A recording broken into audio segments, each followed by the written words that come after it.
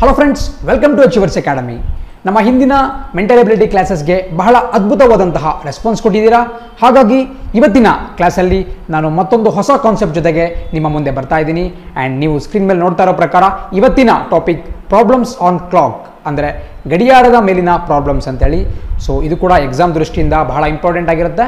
And ಇವತ್ತಿನ live class start ಮಾಡೋಕ್ಕೆ ಮುಂಚೆ ಯಾರೆಲ್ಲ ಲೈವ್ ಲೈವ್ ವಿಡಿಯೋ ನೋಡ್ತಾ ಇದ್ದೀರಾ, ದಯವಿಟ್ಟು ಒಂದು ಹಾಯ್ ಅಂತ ಕಮೆಂಟ್ ಮಾಡಿ ಚಾಟ್ ಸೆಕ್ಷನಲ್ಲಿ ಸೊ ದಟ್ ನನಗೂ ಕೂಡ ಯಾರೆಲ್ಲ ನೋಡ್ತಾ ಇದ್ದೀರಾ ಅಂತ ಗೊತ್ತಾಗುತ್ತೆ.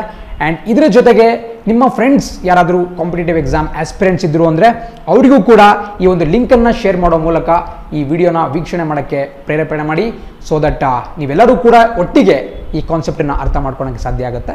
ಆ್ಯಂಡ್ ಇದ್ರ ಜೊತೆಗೆ ನೀವು ಅಥವಾ ನಿಮ್ಮ ಫ್ರೆಂಡ್ಸ್ ಯಾರಿಗಾದ್ರೂ ಕೂಡ ಏನೇ ಡೌಟ್ಸ್ ಇದ್ದರೆ ಇವತ್ತಿನ ಏನು ಲೈವ್ ಚಾಟ್ ಇದೆ, ಅಲ್ಲಿ ನಿಮ್ಮ ಒಂದು ಡೌಟ್ಸನ್ನು ಕಮೆಂಟ್ ಮಾಡಿ. ನಮ್ಮ ಒಂದು ಬ್ಯಾಕ್ ಎಂಡ್ ಟೀಮ್ ಸರ್ವ ಸನ್ನದ್ಧವಾಗಿದೆ ನಿಮ್ಮ ಎಲ್ಲ ಡೌಟ್ಸನ್ನು ಆನ್ ದ ಸ್ಪಾಟ್ ಕ್ಲಾರಿಫೈ ಮಾಡ್ತಾರೆ. ಹಾಗಾಗಿ ಈ ಒಂದು ಚಾಟ್ ಸೆಕ್ಷನನ್ನು ಬಹಳ ಎಫೆಕ್ಟಿವ್ ಆಗಿ ಯೂಸ್ ಮಾಡ್ಕೊಳ್ಳಿ. ಸೊ ಇವತ್ತಿನ ವಿಡಿಯೋ ಸ್ಟಾರ್ಟ್ ಮಾಡೋಕ್ಕೆ ಸ್ವಲ್ಪ ವೆಯ್ಟ್ ಮಾಡೋಣ. ಸೊ ದಟ್ ನಿಮ್ಮ ಫ್ರೆಂಡ್ಸ್ ಏನು ಲಿಂಕನ್ನು ಶೇರ್ ಮಾಡ್ತೀರಾ, ಅವರು ಕೂಡ ಈ ವಿಡಿಯೋನ ಜಾಯ್ನ್ ಆಗಿಬಿಟ್ಟು ಇದರ ಒಂದು ಸದುಪಯೋಗ ಪಡ್ಕೊಳ್ಳಿ. ಸೊ ಇನ್ನೇನು ಕೆಲವೇ ಕ್ಷಣಗಳಲ್ಲಿ ಲೈವ್ ವಿಡಿಯೋ ಸ್ಟಾರ್ಟ್ ಆಗುತ್ತೆ.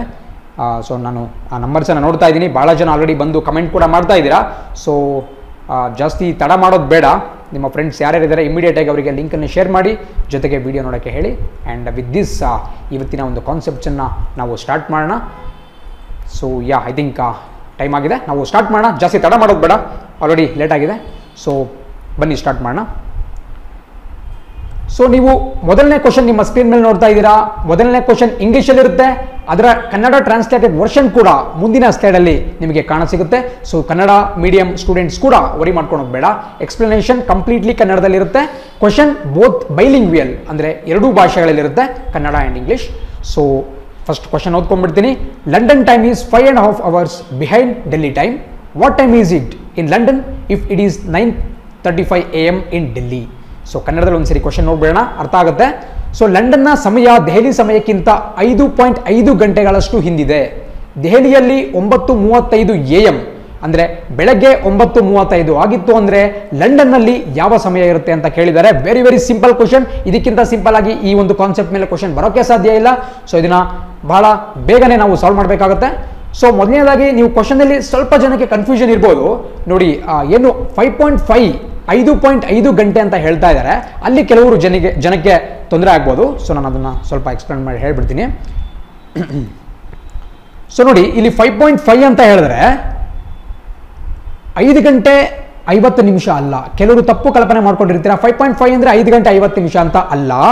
ಪಾಯಿಂಟ್ ಫೈವ್ ಅಂದರೆ ಏನು? ಹಾಫ್ ಅರ್ಧ ಅಂತೇಳಿ. ಇಲ್ಲಿ ಗಂಟೆಗೆ ಅರ್ಧ ಅರ್ಧ ಗಂಟೆ ಅಂತೇಳಿ. ಸೊ ಫೈವ್ ಪಾಯಿಂಟ್ ಫೈವ್ ಗಂಟೆ ಅಂದರೆ ಐದು ಗಂಟೆ ಮೂವತ್ತು ನಿಮಿಷ ಅಂತೇಳಿ. ಸೊ ಜಸ್ಟ್ ಕನ್ಫ್ಯೂಸ್ ಮಾಡೋಕ್ಕೋಸ್ಕರ ಕೂಡ ಕೆಲವೊಂದು ಸಮಯದಲ್ಲಿ ಈ ಥರ ಒಂದು ಡೇಟಾ ಇನ್ಕ್ಲೂಡ್ ಮಾಡಿರ್ಬೋದು. ಹಾಗಾಗಿ ನೆನ್ಪಿಟ್ಕೊಳ್ಳಿ, ಐದು ಗಂಟೆ ಮೂವತ್ತು ನಿಮಿಷ ಅಂತ ನೀವೇನು ಸ್ಕ್ರೀನ್ ಮೇಲೆ ನೋಡ್ತಾ ಇದ್ದೀರಾ, ಅದನ್ನು ನಾವು ತಗೋಬೇಕಾಗುತ್ತೆ. ಸೊ ಬನ್ನಿ, ನಾವು ಡೈರೆಕ್ಟಾಗಿ ಪ್ರಾಬ್ಲಮ್ ಸಾಲ್ವ್ ಮಾಡೋ ಹತ್ರ ಗಮನ ಕೊಡೋಣ.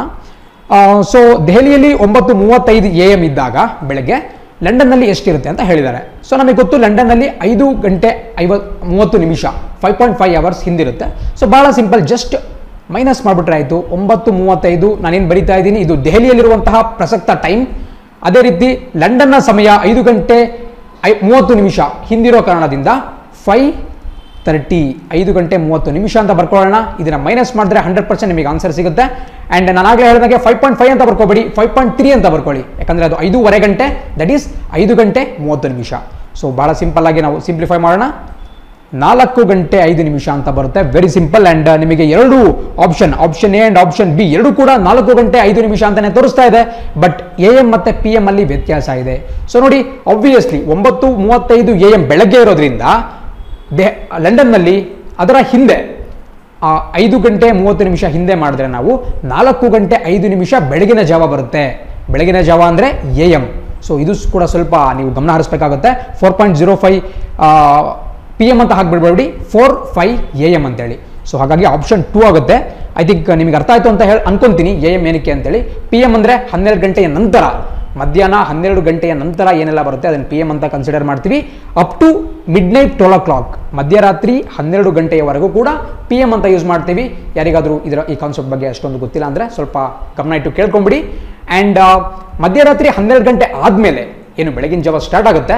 ಅಲ್ಲಿಂದ ಹಿಡಿದ್ಬಿಟ್ಟು ಮರುದಿನ ಮಧ್ಯಾಹ್ನ ಹನ್ನೆರಡು ಗಂಟೆವರೆಗೂ ಕೂಡ ನಾವು ಎ ಎಂ ಅಂತ ಯೂಸ್ ಮಾಡ್ತೀವಿ. ಇಲ್ಲಿ ಬೆಳಗ್ಗೆ ಒಂಬತ್ತು ಮೂವತ್ತೈದು ಮೈನಸ್ ಐದು ಮೂವತ್ತು ಅಂದರೆ ಬೆಳಗಿನ ಜಾವ ನಾಲ್ಕು ಐದು ಬರುತ್ತೆ. ಹಾಗಾಗಿ ಎ ಎಂ ಅಂತ ಆಪ್ಷನ್ ಟಿಕ್ ಮಾಡ್ತಾ ಇದೀವಿ. ಇದಕ್ಕೆ ಇಷ್ಟೊಂದು ತಲೆ ಕೆಡಿಸ್ಕೊಳ್ಳುವಂಥ ಅವಶ್ಯಕತೆ ಇಲ್ಲ. ಫಸ್ಟ್ ಟೈಮರ್ಸಿಗೋಸ್ಕರ ಹೇಳ್ತಾ ಇರೋದು, ಯಾರು ಈ ಕಾನ್ಸೆಪ್ಟ್ಗೆ ಹೊಸದಾಗಿ ಬರ್ತಿದ್ದೀರಾ, ಅವರಿಗೋಸ್ಕರ ಇದನ್ನು ಹೇಳ್ತಾ ಇರೋದು. ಎನಿವೆ ಹ್ಯಾವಿಂಗ್ ಸೆಟ್ ದಿಸ್ ನಾವು ನೆಕ್ಸ್ಟ್ ಸ್ಲೈಡ್ಗೆ ಮೂವ್ ಆಗೋಣ. ನೆಕ್ಸ್ಟ್ ಸ್ಲೈಡಲ್ಲಿ ಸ್ವಲ್ಪ, ಇದಕ್ಕಿಂತ ಸ್ವಲ್ಪ ಕಾಂಪ್ಲೆಕ್ಸ್ ಆಗಿರ್ತಕ್ಕಂಥ ಪ್ರಾಬ್ಲಮ್ ನಿಮಗೆ ಸಿಗುತ್ತೆ. ಸೊ ನೋಡ್ತಾ ಇದ್ದೀರಾ ಇಂಗ್ಲೀಷಲ್ಲಿ ಇದೆ ಕ್ವಶನ್ ಇದರ ಟ್ರಾನ್ಸ್ಲೇಟೆಡ್ ವರ್ಷನ್ ಕೂಡ ನಿಮಗೆ ಮುಂದಿನ ಸ್ಲೈಡಲ್ಲಿ ಸಿಗುತ್ತೆ. So question ಓದ್ಬಿಡೋಣ. A bus leaves at twelve point two five twelve twenty five noon and reaches destination at ten forty five A M the duration of journey is ಇದನ್ನು ಕನ್ನಡದಲ್ಲಿ ಓದಿದ್ರೆ ನಿಮಗೂ ಕೂಡ ಗೊತ್ತಾಗುತ್ತೆ. ಒಂದು ಬಸ್ ಮಧ್ಯಾಹ್ನ ಹನ್ನೆರಡು ಗಂಟೆ ಇಪ್ಪತ್ತೈದು ನಿಮಿಷಕ್ಕೆ ಹೊರಟು ಬೆಳಗ್ಗೆ ಹತ್ತು ನಲವತ್ತೈದಕ್ಕೆ ಗಮ್ಯಸ್ಥಾನವನ್ನು ತಲುಪುತ್ತದೆ. ಸೊ ಪ್ರಯಾಣದ ಅವಧಿ ಎಷ್ಟು ಅಂತ ಕೇಳಿದ್ದಾರೆ. ಫ್ರೆಂಡ್ಸ್ ಇಲ್ಲಿ ಒಂದು ಮಾತನ್ನು ಗಮನಿಸಬೇಕು. ಮಧ್ಯಾಹ್ನ ಹನ್ನೆರಡು ಇಪ್ಪತ್ತೈದಕ್ಕೆ ಹೊರಟು ಬೆಳಗ್ಗೆ ಹತ್ತು ಮುಕ್ಕಾಲಿಗೆ ಹೋಗ್ತಾ ಇದೆ ಅಂದರೆ ಅದು ನೆಕ್ಸ್ಟ್ ಡೇ ಅಂತೇಳಿ. ಸೊ ಅವತ್ತಿನ ದಿನ ರಾತ್ರಿ ಹತ್ತು ನಲವತ್ತೈದಲ್ಲ ಮರುದಿನ ಬೆಳಗ್ಗೆ ಹತ್ತು ನಲವತ್ತೈದು. So there is a big span ಬಹಳ ಒಂದು ಗ್ಯಾಪ್ ಇದೆ. ಸೊ ಈಗ ನಾವು ಅದನ್ನು ಕ್ಯಾಲ್ಕುಲೇಟ್ ಮಾಡೋಣ. ನೋಡಿ ನೀವು ನೋಡ್ತಾ ಇರ್ಬೋದು. ಹನ್ನೆರಡು ಗಂಟೆ ಇಪ್ಪತ್ತೈದು ನಿಮಿಷ ಏನಿದೆ? ನಿಮಗೆ ಸ್ಕ್ರೀನ್ ಲೈನ್ ಕಾಣ್ತಾ ಇದೆ. ಅದನ್ನು ನಾವು ಈಸಿಯಾಗಿ ಹನ್ನೆರಡು ಇಪ್ಪತ್ತೈದು ಇರತಕ್ಕಂತಹದನ್ನು ನಾವು ಝೀರೋ ಪಾಯಿಂಟ್ ಟೂ ಫೈವ್ ಇಪ್ಪತ್ತೈದು ನಿಮಿಷ ಅಂತ ತಗೋಬೋದಾ? ಯಾಕಂದರೆ ಮಧ್ಯಾಹ್ನ ಹನ್ನೆರಡು ಗಂಟೆ ಆದಮೇಲೆ ಇಪ್ಪತ್ತೈದು ನಿಮಿಷ ಆಗಿದೆ. ನಮಗೆ ಗೊತ್ತು ನಮ್ಮ ಒಂದು ಈ ಟೈಮಿಂಗ್ಸಲ್ಲಿ ಹನ್ನೆರಡು ಹನ್ನೆರಡು ಗಂಟೆಗಳು, ಇಪ್ಪತ್ನಾಲ್ಕು ಗಂಟೆ ಏನಿರುತ್ತೆ ಒಂದು ದಿನದಲ್ಲಿ, ಅದನ್ನು ಹನ್ನೆರಡು ಗಂಟೆ ಹನ್ನೆರಡು ಗಂಟೆಯಾಗಿ ಡಿವೈಡ್ ಮಾಡ್ತೀವಿ. ಸೊ ಹನ್ನೆರಡು ಗಂಟೆ ನಂತರ ಏನೇ ಬರುತ್ತೆ, ಅದನ್ನು ಝೀರೋಯಿಂದ ಸ್ಟಾರ್ಟ್ ಮಾಡ್ಬೋದಲ್ಲ ನಾವು. ಸೊ ಹನ್ನೆರಡು ಗಂಟೆ ಮುಗ್ದೋಯ್ತು. ಹನ್ನೆರಡು ಗಂಟೆ ಆದಮೇಲೆ ಇಪ್ಪತ್ತೈದು ನಿಮಿಷ ಆಗಿದೆ. ಸೊ ಜಸ್ಟ್ ಇಪ್ಪತ್ತೈದು ನಿಮಿಷ ಅಂತ ಬರ್ಕೊಳ್ಳೋಣ. ಸೊ ಸೊ ಈ ಒಂದು ಸಮಯದಿಂದ ಮಧ್ಯರಾತ್ರಿ ಹನ್ನೆರಡು ಗಂಟೆ ಒಳಗೆ ನಾವು ಕೌಂಟ್ ಮಾಡ್ಕೊಂಬರೋಣ ಎಷ್ಟು ಒಂದು ಡಿಫ್ರೆನ್ಸ್ ಇರುತ್ತೆ ಅಂತೇಳಿ. ಸೊ ಆ ರೀತಿ ಮಾಡೋದಾದರೆ, ನೋಡಿ. ಸೊ ಆ ರೀತಿ ಮಾಡೋದಾದರೆ ಮಧ್ಯರಾತ್ರಿ ಹನ್ನೆರಡು ಗಂಟೆ, ಅದರಲ್ಲಿ ನಾವು ಇಪ್ಪತ್ತೈದು ನಿಮಿಷವನ್ನು ಮೈನಸ್ ಮಾಡಬೇಕು. ಸೊ ಹಾಗಾದ್ರೆ ಎಷ್ಟಾಗುತ್ತೆ? ಹನ್ನೊಂದು ಗಂಟೆ ಮೂವತ್ತೈದು ನಿಮಿಷ ಆಗುತ್ತೆ. ಸೊ ನೀವು ಸ್ಕ್ರೀನಲ್ಲಿ ನೋಡ್ತಾ ಇರೋದು ಹನ್ನೊಂದು ಗಂಟೆ ಮೂವತ್ತೈದು ನಿಮಿಷ. ಬಟ್ ಇದು ಆನ್ಸರ್ ಅಲ್ಲ. ಯಾಕಪ್ಪ ಅಂದರೆ ನಾವು ಏನು ಕ್ಯಾಲ್ಕುಲೇಟ್ ಮಾಡಿದ್ವಿ ಈಗ? ಮಧ್ಯಾಹ್ನ ಹನ್ನೆರಡು ಇಪ್ಪತ್ತೈದರಿಂದ ಮಧ್ಯರಾತ್ರಿ ಹನ್ನೆರಡು ಇಪ್ಪತ್ತೈದು, ಮಧ್ಯರಾತ್ರಿ ಹನ್ನೆರಡು ಗಂಟೆ. ಈ ಒಂದು ಸಮಯದ ಮಧ್ಯದ ಒಂದು ಡಿಫ್ರೆನ್ಸನ್ನು ಕಂಡಿಟ್ಕೊಂಡ್ವಿ, ವ್ಯತ್ಯಾಸ ಕಂಡಿಟ್ಕೊಂಡ್ವಿ. ಸೊ ಅದು ನಮಗೆ ನೀವು ಸ್ಕ್ರೀನ್ ಮೇಲೆ ನೋಡ್ತಾ ಇರೋ ಪ್ರಕಾರ ಹನ್ನೊಂದು ಗಂಟೆ ಮೂವತ್ತೈದು ನಿಮಿಷ ಅಂತ ಬಂತು. ಸೊ ಇದು ಒಂದು ಸೈಡಲ್ಲಿರಲಿ ಇದಾದ್ಮೇಲೆ ಮಧ್ಯರಾತ್ರಿ ಹನ್ನೆರಡು ಗಂಟೆ ಆದಮೇಲೆ ಇನ್ನೂ ಎಷ್ಟು ಸಮಯ ಬೇಕಾಗುತ್ತೆ? ಆ ಒಂದು ಬಸ್ಸಿಗೆ ತನ್ನ ಒಂದು ಗುರಿಯನ್ನು ತಲುಪಕ್ಕೆ ಅಂದರೆ ಹತ್ತು ಗಂಟೆ ನಲವತ್ತೈದು ನಿಮಿಷ ಬೇಕಾಗುತ್ತೆ. ಸೊ ಟ್ವೆಲ್ ಓ ಕ್ಲಾಕ್ ಮಧ್ಯರಾತ್ರಿ ಟ್ವೆಲ್ ಓ ಕ್ಲಾಕಿಂದ ಬೆಳಗ್ಗೆ ಹತ್ತು ನಲವತ್ತೈದಕ್ಕೆ ಎಷ್ಟು ಡಿಫ್ರೆನ್ಸ್ ಇದೆಯಪ್ಪ ಅಂದರೆ ಹತ್ತು ನಲವತ್ತೈದು ಡಿಫ್ರೆನ್ಸ್ ಇರುತ್ತೆ, ಹತ್ತು ಮುಕ್ಕಾಲು. ಸೊ ಅವೆರಡನ್ನೂ ಕೂಡ ಆ್ಯಡ್ ಮಾಡೋಣ. ಆ್ಯಡ್ ಮಾಡಿದಾಗ ಏನು ಸಿಗುತ್ತೆ ಅಂತ ನೋಡೋಣ. ಮತ್ತು ಏಯ್ಟಿ ಟ್ವೆಂಟಿ ಒನ್ ಇಪ್ಪತ್ತೊಂದು ಗಂಟೆ ಎಂಬತ್ತು ನಿಮಿಷ ಅಂತ ನೀವು ಸ್ಕ್ರೀನ್ ಮೇಲೆ ನೋಡ್ತಾ ಇದ್ದೀರಾ. ಇಪ್ಪತ್ತೊಂದು ಗಂಟೆ ಎಂಬತ್ತು ನಿಮಿಷ ಈ ಎರಡು ಒಂದು ಏನು ಬಸ್ ಹೊರಟಿದ್ದಕ್ಕೂ ಮತ್ತು ಬಸ್ ತನ್ನ ಡೆಸ್ಟಿನೇಷನನ್ನು ರೀಚ್ ಆಗಿದ್ದಕ್ಕೂ ಮಧ್ಯೆ ಇರುವಂತಹ ಡಿಫ್ರೆನ್ಸ್ ಇಪ್ಪತ್ತೊಂದು ಗಂಟೆ ಎಂಬತ್ತು ನಿಮಿಷ. ಬಟ್ ನೀವು ನೋಡ್ತಾ ಇದ್ದೀರಾ, ಇಪ್ಪತ್ತೊಂದು ಗಂಟೆ ಎಂಬತ್ತು ನಿಮಿಷ ಅಂತ ಯಾವುದೇ ಕೂಡ ಆಪ್ಷನ್ ಕಾಣಿಸ್ತಾ ಇಲ್ಲ. ಸೊ ಗಾಬರಿ ಆಗೋ ಅವಶ್ಯಕತೆ ಇಲ್ಲ. ಸೊ ಇಲ್ಲಿ ಕೂಡ ನಾವು ಇನ್ನೊಂದು ಸ್ವಲ್ಪ ಸಿಂಪ್ಲಿಫೈ ಮಾಡೋಣ. ನೋಡಿ, ಎಂಬತ್ತು ನಿಮಿಷ ಅಂದರೆ ಏನು? ಎಂಬತ್ತು eighty minutes equal to one hour plus twenty minutes ಆಗ್ಬೋದಾ? ಎಂಬತ್ತು ನಿಮಿಷ ಅಂದರೆ ಏನು? ಒಂದು ಗಂಟೆ ಪ್ಲಸ್ ಇಪ್ಪತ್ತು ನಿಮಿಷ ಅಂತ ಸಿಂಪಲ್ ಆಗಿ. ಸೊ ಈ ಒಂದು ಗಂಟೆ ಏನಿದೆ, ಅದನ್ನು ಈ ಇಪ್ಪತ್ತೊಂದು ಗಂ, ಗಂಟೆಗೆ ಆ್ಯಡ್ ಮಾಡ್ಬೋದಲ್ವಾ? ಭಾಳ ಸಿಂಪಲ್ ಇದೆ. ಸೊ ಮಾಡಿದ್ರೆ ಎಷ್ಟಾಗುತ್ತೆ? ಇಪ್ಪತ್ತೆರಡು ಗಂಟೆ ಆಗುತ್ತೆ. ಉಳಿದಿರೋದು ಎಷ್ಟು? ನೀವು ಸ್ಕ್ರೀನ್ ಮೇಲೆ ನೋಡ್ತಾ ಇರೋ ಪ್ರಕಾರ ಇಪ್ಪತ್ತು ನಿಮಿಷ ಉಳಿದಿದೆ. ಎಂಬತ್ತು ನಿಮಿಷ ಅಂದರೆ ಒಂದು ಗಂಟೆ ಇಪ್ಪತ್ತು ನಿಮಿಷ. ಸೊ ಆ ಒಂದು ಗಂಟೆನ ನೀವು ಇಪ್ಪತ್ತೊಂದಕ್ಕೆ ಆ್ಯಡ್ ಮಾಡಿದ್ದೀರಾ? ಇಪ್ಪತ್ತೆರಡು ಆಯಿತು. ಆ್ಯಂಡ್ ಉಳಿದಿರತಕ್ಕಂತಹ ಇಪ್ಪತ್ತು ಮಿನಿಟ್ಸನ್ನು ನಿಮಿಷದ ಸ್ಥಾನದಲ್ಲಿ ಮಿನಿಟ್ಸ್ ಸ್ಥಾನದಲ್ಲಿ ಬರೆದ್ರೆ ನಿಮಗೆ ಇಪ್ಪತ್ತೆರಡು ಗಂಟೆ ಇಪ್ಪತ್ತು ನಿಮಿಷ ಅಂತ ಆನ್ಸರ್ ಸಿಗುತ್ತೆ. ಸೊ ನೋಡಿ ಆಪ್ಷನ್ ಎಲ್ಲ ಆ ರೀತಿ ಏನಾದರೂ ಆಪ್ಷನ್ ಇದೆಯಾ? ಆಬ್ವಿಯಸ್ಲಿ ಫಸ್ಟ್ ಆಪ್ಷನ್ನೇ ಬಂದ್ಬಿಟ್ಟು twenty two hours twenty minutes ಇಪ್ಪತ್ತೆರಡು ಗಂಟೆ, ಇಪ್ಪತ್ತು ಮಿನಿಟ್ಸ್ ಅಂತ ಇದೆ. ಸೊ ಹಂಡ್ರೆಡ್ ಪರ್ಸೆಂಟ್ ಕಣ್ಮುಚ್ಕೊಂಡು ಹಾಕ್ಬೋದು. Option A is the right answer for this question so ಭಾಳ ಸಿಂಪಲ್ ಆಗಿ ನೀವು ಮುಗಿಸ್ಕೊಂಡ್ರಿ. ಸೊ ಇಷ್ಟೆಲ್ಲ ಡೀಟೇಲ್ಸ್ ಇನ್ ಡೆಪ್ತ್ ಹೋಗೋದು ಕೂಡ ಬೇಡ. ಇದು ಜಸ್ಟ್ ಬಿಗಿನರ್ಸಿಗೋಸ್ಕರ ಎಕ್ಸ್ಪ್ಲೇನ್ ಮಾಡ್ತಿರೋದು. ನೀವು ಆಲ್ರೆಡಿ ಇದನ್ನೆಲ್ಲ ಗೊತ್ತಿದೆ ನಿಮಗೆ ಅಂದರೆ ಡೈರೆಕ್ಟಾಗಿ twelve twenty five to twelve o'clock ಎಷ್ಟಾಗುತ್ತೆ? ಕ್ಯಾಲ್ಕುಲೇಟ್ ಮಾಡ್ಕೊಳ್ಳಿ. ಹನ್ನೊಂದು ಗಂಟೆ ಮೂವತ್ತೈದು ನಿಮಿಷ ಬರುತ್ತೆ. ಅದಾದಮೇಲೆ ಹನ್ನೆರಡು ಗಂಟೆಯಿಂದ ಹತ್ತು ಮುಕ್ಕಾಲು ಮಧ್ಯ ಡಿಫ್ರೆನ್ಸನ್ನು ಕಂಡಿಟ್ಕೊಳ್ಳಿ. ಎರಡನ್ನು ಕೂಡ ಆ್ಯಡ್ ಮಾಡಿದಾಗ ನಿಮಗೆ ಸಿಗುವಂತಹ ಮೊತ್ತವೇ ಈ ಒಂದು ಪ್ರಶ್ನೆಯ ಉತ್ತರ ಆಗಿರುತ್ತೆ. ಸೊ ಭಾಳ ಸಿಂಪಲ್ ಆಗಿದೆ. ಸಾರಿ ಸೊ ಇದೇ ರೀತಿ ನೆಕ್ಸ್ಟ್ ಕ್ವಶನಿಗೆ ಕೂಡ ಮೂವ್ ಆಗೋಣ. ಸೊ ತರ್ಡ್ ಕ್ವಶನ್ ನೋಡ್ತಾ ಇದ್ದೀರಾ ಸ್ಕ್ರೀನ್ ಮೇಲೆ? A clock is started at noon by ten minutes past five the hour has turn through so ಅಲ್ಲಿ ನಿಮಗೆ ಆ್ಯಂಗಲ್ ಕೇಳ್ತಾ ಇದ್ದಾರೆ. ಸೊ ಕೆಲವರಿಗೆ ಇದು ಸ್ವಲ್ಪ ಹೊಸ ಕಾನ್ಸೆಪ್ಟ್ ಇರ್ಬೋದು, ಕೋನ ಡಿಗ್ರೀಸ್ ಆ್ಯಂಗಲ್ ಏನು ಬರುತ್ತೆ? ಕೆಲವು ಜನಕ್ಕೆ, ಆ, ಹೊಸ ಕಾನ್ಸೆಪ್ಟ್ ಇರ್ಬೋದು. ಹಾಗಾಗಿ ಇದರ ಕಂಪ್ಲೀಟ್ ಕಾನ್ಸೆಪ್ಷುಯಲ್ ಕ್ಲಾರಿಟಿನ ತಗೊಂಡು ನಾವು ಮುಂದೋಗೋಣ. ಸೊ ಎನಿವೆ ಫಸ್ಟ್ ಕನ್ನಡದಲ್ಲಿ ಕ್ವಶನ್ ಕೂಡ ಓದ್ಕೊಂಬೋಣ ಈಗ ಮೂರನೇ ಕ್ವಶನ್ನ ಕನ್ನಡದಲ್ಲಿ ನೋಡ್ತಾ ಇದ್ದೀರಾ? ಒಂದು ಗಡಿಯಾರವನ್ನು ಮಧ್ಯಾಹ್ನ ಹನ್ನೆರಡು ಗಂಟೆಗೆ ಪ್ರಾರಂಭಿಸಲಾಗುತ್ತದೆ. ಐದು ಹತ್ತಕ್ಕೆ, ಅಂದರೆ ಸಂಜೆ ಐದು ಹತ್ತಕ್ಕೆ ಗಂಟೆಯ ಮುಳ್ಳು ಎಷ್ಟು ತಿರುಗಿರುತ್ತದೆ ಅಂತ ಕ್ವಶನ್ ಹೇಳ್ತಾ ಇದೆ. ನೋಡಿ, ಇದು ಭಾಳ ಸಿಂಪಲ್ ಆಗಿದೆ. ಸ್ವಲ್ಪ ಕಾನ್ಸೆಪ್ಚುಯಲ್ ಕ್ವಾಲಿಟಿ ಇಂಪಾರ್ಟೆಂಟ್ ಆಗುತ್ತೆ. ಸೊ ಫಸ್ಟ್ ಕಾನ್ಸೆಪ್ಟನ್ನು ಅರ್ಥ ಮಾಡಿಕೊಂಡು ನಾವು ಮುಂದೆ ಈ ಪ್ರಾಬ್ಲಮ್ನ ಸಾಲ್ವ್ ಮಾಡೋಣ. ಸೊ ಬನ್ನಿ ಕಾನ್ಸೆಪ್ಟ್ ಬಗ್ಗೆ ತಿಳ್ಕೊಳ್ಳೋಣ. ಸೊ ನಾನೊಂದು ಗಡಿಯಾರದ ಒಂದು ಚಿತ್ರ ಹಾಕ್ತೀನಿ. ಸೊ ದಿಸ್ ಇಸ್ ಒಂದು ಕ್ಲಾಕ್ ಅಂತ ತಿಳ್ಕೊಳ್ಳಿ. ಒಂದು ಗಡಿಯಾರ ಥರ ಕಾಣ್ತಾ ಇದೆ. ಸೊ ಹನ್ನೆರಡು ಗಂಟೆ. ಸೊ ಎಷ್ಟಿರ್ಬೋದಪ್ಪ? ನಮ್ಮ ಒಂದು ಸಣ್ಣ ಮುಳ್ಳು ಇಲ್ಲಿವರೆಗೂ ಇರುತ್ತೆ. ಆ್ಯಂಡ್ ಅಂದರೆ ಗಂಟೆಯ ಮುಳ್ಳು. ಆ್ಯಂಡ್ ನಿಮಿಷದ ಮುಳ್ಳು ಇಲ್ಲಿವರೆಗೂ ಇರುತ್ತೆ. ಸೊ ಟ್ವೆಲ್ ಓ ಕ್ಲಾಕಿಗೆ ಈಗ ಗಡಿಯಾರ ಕಾಣ್ತಾ ಇದೆ. ಸೊ ಫಸ್ಟ್ ನಾವು ಈ ಒಂದು ಕ್ವಶನ್ಗೆ ಗಮನ ಹರಿಸೋಕ್ಕೆ ಮುಂಚೆ ಈ ಗಂಟೆಯ ಒಂದು ಕಾನ್ಸೆಪ್ಟ್ ಗಂಟೆ ಮತ್ತು ನಿಮಿಷದ ಒಂದು ಕಾನ್ಸೆಪ್ಟ್ ತಿಳ್ಕೊಳ್ಳೋಣ. ಯಾಕಂದರೆ ಇದು ಕೋನದ ಬಗ್ಗೆ ಆ್ಯಂಗಲ್ ಬಗ್ಗೆ ಇದೆ. ಕೆಲವರಿಗೆ ಇದ್ರ ಬಗ್ಗೆ ಅಷ್ಟೊಂದು ಐಡಿಯಾ ಇಲ್ಲದೆ ಇರ್ಬೋದು. ಸೊ ಮನಿ ಫ್ರೆಂಡ್ಸ್ ಒಂದು ಯಾವುದೇ ಒಂದು ಸರ್ಕ್ಯುಲರ್ ಆಬ್ಜೆಕ್ಟ್ ಒಂದು ವೃತ್ತಾಕೃತಿಯನ್ನು ವೃತ್ತಾಕೃತಿನ ತಗೊಂಡ್ರೆ, ಅದರ ಒಳಗೆ ಎಷ್ಟು ಒಟ್ಟು ಆ್ಯಂಗಲ್ ಎಷ್ಟಿರುತ್ತಪ್ಪ, ಕೋನ ಎಷ್ಟಿರುತ್ತಪ್ಪ ಅಂದರೆ ಆಲ್ವೇಸ್ ತ್ರೀ ಸಿಕ್ಸ್ಟಿ ಡಿಗ್ರಿ ಇರುತ್ತೆ. ಸೊ ನೀವೇನು ಈ ಚಿತ್ರ ನೋಡ್ತಾ ಇದ್ದೀರಾ? ಇದರ ಒಂದು ಆ್ಯಂಗಲ್ ಕೂಡ ತ್ರೀ ಸಿಕ್ಸ್ಟಿ ಡಿಗ್ರಿ ಇರುತ್ತೆ. ಆ್ಯಂಡ್ ನಮಗೆ ಗೊತ್ತು ಆಲ್ದೋ ಒಂದು ದಿನಕ್ಕೆ ಇಪ್ಪತ್ನಾಲ್ಕು ಗಂಟೆ ಇದ್ದರೂ ಕೂಡ ಒಂದು ಗಡಿಯಾರದಲ್ಲಿ ಎಷ್ಟು ಗಂಟೆ ಇರುತ್ತಪ್ಪ ಅಂದರೆ ಹನ್ನೆರಡು ಗಂಟೆ ಇರುತ್ತೆ. ನಮ್ಮೆಲ್ಲರೂ ಕೂಡ ಗೊತ್ತು, ಹನ್ನೆರಡು ಡಿಜಿಟ್ಸ್ ಇರುತ್ತೆ, ಹನ್ನೆರಡು ಗಂಟೆ ಇರುತ್ತೆ. ಸೊ ಒಟ್ಟು ಮುನ್ನೂರ ಅರವತ್ತು ಡಿಗ್ರಿ ಇದ್ದರೆ ಆ ಒಂದು ಗಡಿಯಾರದಲ್ಲಿ ಹನ್ನೆರಡು ಗಂಟೆಗಳಿದ್ದರೆ ಒಂದು ಗಂಟೆಗೆ ಎಷ್ಟು ಡಿಗ್ರಿ ಇರ್ಬೋದು ಅಂತ ನಾವು ಸಿಂಪಲಾಗಿ ಕ್ಯಾಲ್ಕುಲೇಟ್ ಮಾಡ್ಬೋದು. ಸೊ ನೀವೇನು three sixty degree by twelve ನೋಡ್ತಾ ಇದ್ದೀರಾ? ಇದು ನಮಗೆ ಒಂದು ಒಂದು ಗಂಟೆಗೆ ಎಷ್ಟು ಡಿಗ್ರಿ ಆ್ಯಂಗಲ್ ಅಥವಾ ಕೋನ ಅನ್ನೋದನ್ನು ಕೊಡುತ್ತೆ. ಸೊ ಬನ್ನಿ ಸಾಲ್ವ್ ಮಾಡೋಣ. ಭಾಳ ಸಿಂಪಲ್ ಆಗಿದೆ. ಹನ್ನೆರಡು ಒಂದಲೇ, ಹನ್ನೆರಡು ಮೂರಲೆ, ಮೂವತ್ತಾರು. ಸೊ ತರ್ಟಿ ಡಿಗ್ರಿ ಹಾಗಾಗಿ ನಮಗೆ ತರ್ಟಿ ಡಿಗ್ರಿ ಅಂತ ಏನು ಸಿಕ್ತು? ಇದು ಒಂದು ಗಂಟೆಗೆ ಎಷ್ಟು ಡಿಗ್ರಿ ಮೂವ್ ಆಗುತ್ತಪ್ಪ, ಚಲನೆ ಮಾಡುತ್ತಪ್ಪ ನಮ್ಮ ಈ ಗಂಟೆಯ ಮುಳ್ಳು ಅಂದರೆ ಮೂವತ್ತು ಡಿಗ್ರಿ ಅಷ್ಟು ಚಲನೆ ಮಾಡುತ್ತೆ. ವೆರಿ ವೆರಿ ಇಂಪಾರ್ಟೆಂಟ್ ಡೆರಿವೇಷನ್ ನಿಮಗೆ ಪ್ರತಿಯೊಂದು ಪ್ರಾಬ್ಲಮಲ್ಲೂ ಕೂಡ ಈ ಡೆರಿವೇಷನ್ ಹೆಲ್ಪ್ ಆಗುತ್ತೆ. ಗಂಟೆಯ ಮುಳ್ಳು ಒಂದು ಗಂಟೆ ತಗೊಂಡಿದೆ, ಒಂದು ಗಂಟೆ ಚಲನೆ ಮಾಡಿದೆಯಪ್ಪ ಅಂದರೆ ಅದು ಖಂಡಿತವಾಗಿ ಮೂವತ್ತು ಡಿಗ್ರಿ ಕೋನ. ಅಂದರೆ ತರ್ಟಿ ಡಿಗ್ರಿ ಆ್ಯಂಗಲ್ ಅಷ್ಟು ಮೂವ್ ಆಗಿರುತ್ತೆ. ಇದು ವೆರಿ ಇಂಪಾರ್ಟೆಂಟ್ ಕಾನ್ಸೆಪ್ಟ್ ಸೊ ನೆನ್ಪಿಟ್ಕೊಳ್ಳಿ. ಇದ್ರ ಜೊತೆಗೆ ನಮಗೆ ಸ್ವಲ್ಪ ನಿಮಿಷದ ಬಗ್ಗೆ ಕೂಡ ಗೊತ್ತಾಗಬೇಕಾಗುತ್ತೆ.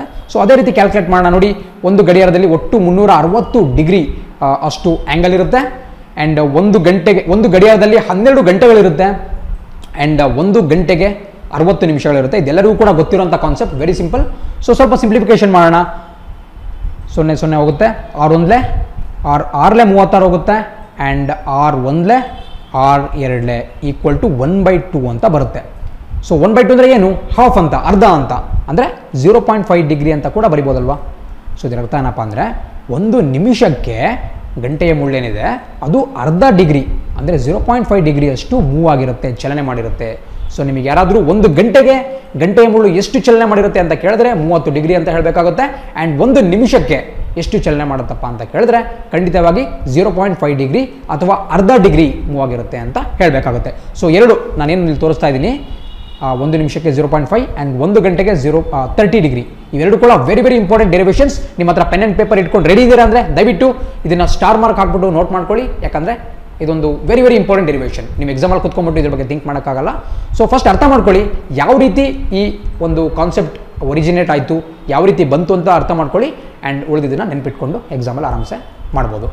ಸೊ ಇದುವರೆಗೂ ನಾವು ಕಾನ್ಸೆಪ್ಟ್ ಬಗ್ಗೆ ಸ್ವಲ್ಪ ಅರ್ಥ ಮಾಡ್ಕೊಂಡ್ವಿ ಬಟ್ ಪ್ರಾಬ್ಲಮನ್ನು ಸಾಲ್ವ್ ಮಾಡಿಲ್ಲ. ಬನ್ನಿ, ಈ ಒಂದು ಕಾನ್ಸೆಪ್ಟನ್ನು ಅಪ್ಲೈ ಮಾಡಿಬಿಟ್ಟು ಯಾವ ರೀತಿ ಸಿಂಪಲ್ ಆಗಿ ಪ್ರಾಬ್ಲಮನ್ನು ಸಾಲ್ವ್ ಮಾಡ್ಬೋದು ಅಂತ ನಾವು ತಿಳ್ಕೊಳ್ಳೋಣ. ಸೊ ಅವ್ರು ಕೊಟ್ಟಿದ್ದಾರೆ, ಹನ್ನೆರಡು ಗಂಟೆಗೆ ಪ್ರಾರಂಭ ಮಾಡಲಾಗಿದೆ ಗಂಟೆನ, ಆ ಒಂದು ಗಡಿಯಾರನ. ಸೊ ಐದು ಗಂಟೆ ಹತ್ತು ನಿಮಿಷಕ್ಕೆ ಎಷ್ಟು ತಿರುಗಿರುತ್ತೆ ಅಂತ ನಮಗೆ ಗೊತ್ತಾಗಬೇಕು, ಗೊತ್ತಾಗಬೇಕಾಗುತ್ತೆ. ಸೊ ನೋಡ್ತಾ ಇರ್ಬೋದು, ಐದು ಹತ್ತು ಅಂದರೆ ಆ ಒಂದು ಗಂಟೆಯ ಮುಳ್ಳು ಐದು ಗಂಟೆ ಚಲನೆ ಮಾಡಿದೆಯಾ? ಐದು ಗಂಟೆ. ಸೊ ಐದು ಗಂಟೆ ಅಂದರೆ ಎಷ್ಟು ಡಿಗ್ರಿ ಮೂವ್ ಆಗಿರುತ್ತೆ? ನಾನು ಹಿಂದೆ ತಾನೆ, ಒಂದು ನಿಮಿಷದ ಮುಂಚೆ ತಾನೇ ಹೇಳ್ತಾ ಇದ್ದೆ, ಪ್ರತಿ ಗಂಟೆಗೆ ಮೂವತ್ತು ಡಿಗ್ರಿಯಷ್ಟು ಆ್ಯಂಗಲ್ ಚೇಂಜ್ ಆಗುತ್ತೆ ಅಥವಾ ಕೋನ ಮೂವ್ ಆಗ್ತಾ ಹೋಗುತ್ತೆ ನಮ್ಮ ಒಂದು ಗಡಿಯ, ಗಡಿಯಾರದ ಗಂಟೆಯ ಮುಳ್ಳು ಅಂತ ಹೇಳಿದ್ದೆ. ಸೊ ಐದು ಗಂಟೆ ಅಲ್ಲದು ಐದು ಇಂಟು ಎಷ್ಟು ಮೂವ್ ಆಗುತ್ತೆ? ಮೂವತ್ತು.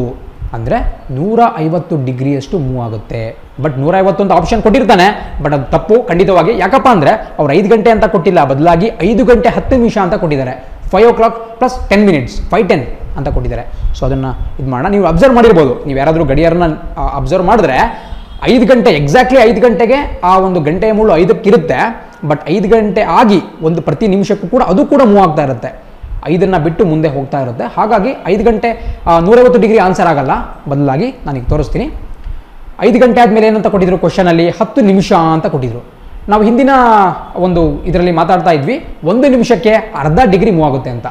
ಸೊ ಹಾಗಾಗಿ ನಾವಿಲ್ಲಿ ಬರ್ಕೊಳ್ಳೋಣ ಮತ್ತೆ. ಹತ್ತು ಇಂಟು ಅರ್ಧ degree zero point five. So ಇಷ್ಟು ಒಂದು ಡಿಗ್ರಿಯಷ್ಟು ಅದು ಮೂವ್ ಆಗುತ್ತೆ. ಸೊ ಎಷ್ಟು ಬರುತ್ತೆ? ಹತ್ತು ಇಂಟು ಝೀರೋ ಪಾಯಿಂಟ್ ಫೈವ್ ಅಂದರೆ, ten into zero point five ಅಂದರೆ ಫೈವ್ ಡಿಗ್ರಿ ಅಂತ ಬರುತ್ತೆ. ಸೊ ನೂರೈವತ್ತು ಡಿಗ್ರಿ ಮೂವ್ ಆಗಿಲ್ಲದೆ ಆಗ್ ಆಗಿರೋ ಜೊತೆಗೆ ಗಂಟೆಯ ಮುಳ್ಳು ಮತ್ತೆ ಒಂದು ಐದು ಡಿಗ್ರಿ ಮೂವ್ ಆಗಿರುತ್ತೆ ಆ ಒಂದು ಹತ್ತು ನಿಮಿಷಕ್ಕೆ. ಸೊ ಹಾಗಾಗಿ ಒಟ್ಟು ಎಷ್ಟಾಗುತ್ತಪ್ಪ? ಎರಡನ್ನು ಪ್ಲಸ್ ಮಾಡಿಬಿಡಿ. ನೂರ ಐವತ್ತು ಪ್ಲಸ್ ಐವತ್ತು ಐದು ಈಕ್ವಲ್ ಟು ನೂರ ಐವತ್ತೈದು ಡಿಗ್ರಿ ಅನ್ನೋದು ಪರ್ಫೆಕ್ಟ್ ಆನ್ಸರ್ ಆಗಿರುತ್ತೆ. ಸೊ ಆಬ್ವಿಯಸ್ಲಿ ಆಪ್ಷನ್ ನೋಡ್ತಾ ಇದ್ದೀರಾ? ಆಪ್ಷನ್ ನಂಬರ್ ತ್ರೀ ಸಿ ಅನ್ನೋದು ಹಂಡ್ರೆಡ್ ಪರ್ಸೆಂಟ್ ಕರೆಕ್ಟ್ ಆನ್ಸರ್ ಆಗಿರುತ್ತೆ. ಸೊ ಈ ರೀತಿ ಮಾಡಿದ್ರೆ ವಿತೌಟ್ ಎನಿ ಫೇಲ್ ನೀವು ಆನ್ಸರ್ ಮಾಡ್ಬೋದು. ಸೊ ಇಲ್ಲಿ ನೆನ್ಪಿಟ್ಕೊಂಡು ಬೇಕಾಗಿರೋದು ಎರಡೇ ಥಿಂಗ್ ಏನಪ್ಪ ಅಂದರೆ ಒಂದು ಗಂಟೆಗೆ ಮೂವತ್ತು ಡಿಗ್ರಿ, ಒಂದು ನಿಮಿಷಕ್ಕೆ ಝೀರೋ ಪಾಯಿಂಟ್ ಫೈವ್ ಡಿಗ್ರಿ. ಇದನ್ನು ಜಸ್ಟ್ ಬೈ ಹಾರ್ಟ್ ಮಾಡುವಂಥ ಅವಶ್ಯಕತೆ ಇಲ್ಲ. ಯಾಕಂದರೆ ಬೈ ಹರ್ಟ್ ಮಾಡಿದ್ರೆ ಯಾವಾಗಲೂ ಕೂಡ ಮರೆಯುವಂಥ ಚಾನ್ಸಸ್ ಇರುತ್ತೆ ಕನ್ಫ್ಯೂಷನ್ ಇರುತ್ತೆ. ಸೊ ಕಾನ್ಸೆಪ್ಟನ್ನು ಅರ್ಥ ಮಾಡ್ಕೊಳ್ಳಿ. ಏನಕ್ಕೆ ತರ್ಟಿ ಡಿಗ್ರಿ ಬಂತು, ಏನಕ್ಕೆ ಜೀರೋ ಪಾಯಿಂಟ್ ಫೈವ್ ಡಿಗ್ರಿ ಬಂತು ಅಂತ ಆಮೇಲೆ ಮುಂದೆ ಹೋಗಿ ನೀವು ದೇರ್ ಇಸ್ ನೋ ವೇ ನೀವು ಮರೆಯುವಂಥ ಚಾನ್ಸೇ ಇಲ್ಲ. ಸೊ ಈಗ ನಾವು ಮುಂದಿನ ಒಂದು ಪ್ರಾಬ್ಲಮನ್ನು ಸ್ಟಾರ್ಟ್ ಮಾಡೋಣ. ಸೊ ನೆಕ್ಸ್ಟ್ ಪ್ರಾಬ್ಲಮ್ಗೆ ಮೂವ್ ಆಗೋದಾದ್ರೆ, ನಿಮಗೆ ನಾಲ್ಕನೇ ಕ್ವಶನ್ನ ಸ್ಕ್ರೀನ್ ಮೇಲೆ ಕಾಣ್ತಾ ಇದೆ. The angle between minute hand and the hour hand of a clock when the time is four twenty is so ಕನ್ನಡದಲ್ಲಿ ಕೂಡ ಒಂದ್ಸರಿ ಓದ್ಕೊಂಬಿಡಿ.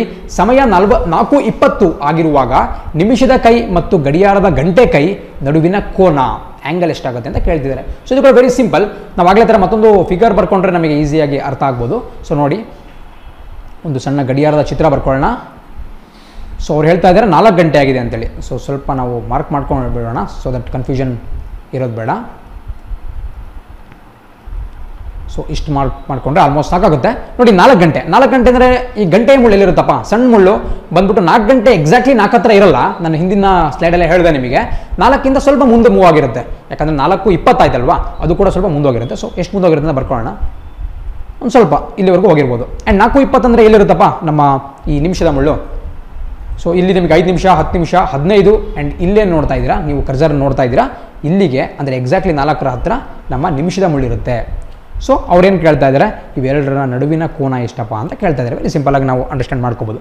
ಸೊ ನೀವು ಫಸ್ಟು ನಾವು ಈ ಗಂಟೆಯ ಕೋನ ಇದ್ರ ಬಗ್ಗೆ ಡಿಸ್ಕಸ್ ಮಾಡೋಣ. ಸೊ ನಾಲ್ಕು ಗಂಟೆ ಆಗಿದೆ. ನಾಲ್ಕು ಗಂಟೆಗೆ ಎಷ್ಟು ಮೂವ್ ಆಗಿರುತ್ತಪ್ಪ? ನಾವು ಹಿಂದಿನ ಸ್ಲೈಡಲ್ಲಿ ನೋಡ್ತಾ ಇದ್ವಿ. ಪ್ರತಿ ಗಂಟೆಗೆ ಮೂವತ್ತು ಡಿಗ್ರಿ ಮೂವ್ ಆದರೆ ನಾಲ್ಕು ಗಂಟೆಗೆ ಫೋರ್ ಇಂಟು ತರ್ಟಿ ನಾಲ್ಕು ಇಂಟು ಮೂವತ್ತು ಮೂವ್ ಆಗಿರುತ್ತೆ. ಅಂದರೆ ನಾಲ್ಕು ಮೂರಲೆ ಹನ್ನೆರಡು, ನೂರ ಇಪ್ಪತ್ತು ಡಿಗ್ರಿ ಮೂವ್ ಆಗಿರುತ್ತೆ. ಓಕೆನಾ ಅಷ್ಟೇ ಅಲ್ಲ ಅದಕ್ಕಿಂತ ಮುಂದೆ ಕೂಡ ಸ್ವಲ್ಪ ಮೂವ್ ಆಗುತ್ತೆ. ಯಾಕಪ್ಪ ಅಂದರೆ ಟ್ವೆಂಟಿ ಮಿನಿಟ್ಸ್ ನಾವು ನೋಡ್ತಾ ಇದ್ದೀವಿ ಮೂವ್ ಆಗಿದೆ. ಸೊ ಎಷ್ಟು ಮೂವ್ ಆಗಿರುತ್ತೆ? ನಾನಾಗಲೇ ಹೇಳಿದೆ, ಒಂದು ನಿಮಿಷಕ್ಕೆ zero point five degree move ಆದರೆ ಇಪ್ಪತ್ತು ನಿಮಿಷಕ್ಕೆ ಎಷ್ಟು ಮೂವ್ ಆಗಬೇಕು? ಇಪ್ಪತ್ತು ಇಂಟು ಜೀರೋ ಪಾಯಿಂಟ್ ಫೈವ್ ಮಾಡ್ಬೋಣ ಸೊ ಎಷ್ಟು ಸಿಗುತ್ತೆ ನಮಗೆ? ಹತ್ತು ಡಿಗ್ರಿ ಅಂತ ಸಿಗುತ್ತೆ. ಸೊ ನಮಗೀಗ ಏನು ಗೊತ್ತಾಯ್ತಪ್ಪ ಅಂದರೆ ಗಂಟೆ ಮುಳ್ಳು, ಏನು ಈ ಸಣ್ಣ ಮುಳ್ಳು ಕಾಣ್ತಾ ಇದೆ ನಿಮಗೆ? ಇದು ಬಂದ್ಬಿಟ್ಟು ನೂರ ಮೂವತ್ತು ಡಿಗ್ರಿ ಮೂವ್ ಆಯಿತು. ಹೇಗೆ ಬಂತಿದು? ನೂರಿಪ್ಪತ್ತು ಡಿಗ್ರಿ ಪ್ಲಸ್ ಹತ್ತು ಡಿಗ್ರಿ ನಾನು ಇಲ್ಲಿ ತಾನೇ ಕ್ಯಾಲ್ಕುಲೇಟ್ ಮಾಡ್ಕೊಂಡಿದ್ದೀನಿ, ನೋಡ್ತಾ ಇರ್ಬೋದು ನೀವು. ಸೊ ಈ ಕಂಪ್ಲೀಟ್ ಕ್ಯಾಲ್ಕುಲೇಷನ್ ಬೇಸಿಸ್ ಮೇಲೆ ನೂರಿಪ್ಪತ್ತು ಡಿಗ್ರಿ ಪ್ಲಸ್ ಹತ್ತು ಡಿಗ್ರಿ ಅಂದರೆ ನೂರ ಮೂವತ್ತು ಡಿಗ್ರಿ ಮೂವ್ ಆಗಿದೆ ಅಂತ ಗೊತ್ತಾಯಿತು. ಈಗ ನಾವು ಈ ಒಂದು ಸಣ್ಣ ಮುಳ್ಳು ಏನಿದೆ ದೊಡ್ಡ ಮುಳ್ಳು ಏನಿದೆ, ನಿಮಿಷದ ಮುಳ್ಳು, ಇದ್ರ ಬಗ್ಗೆ ಗಮನ ಹರಿಸೋಣ. ಸೊ ನಿಮಿಷದ ಮುಳ್ಳು ಎಷ್ಟು ಮೂವ್ ಆಗಿರ್ಬೋದಪ್ಪ?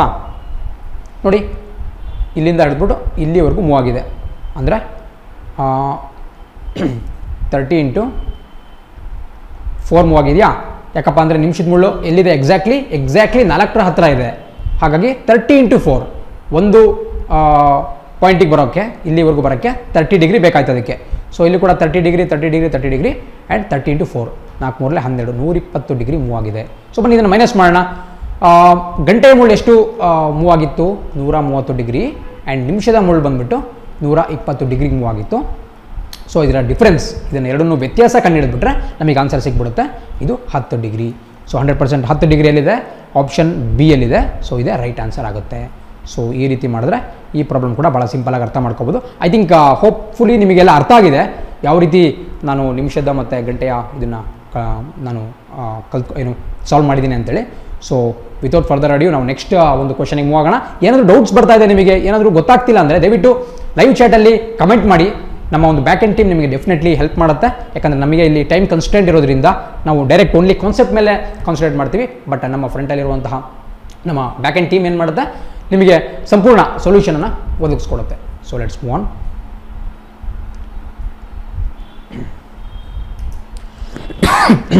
sorry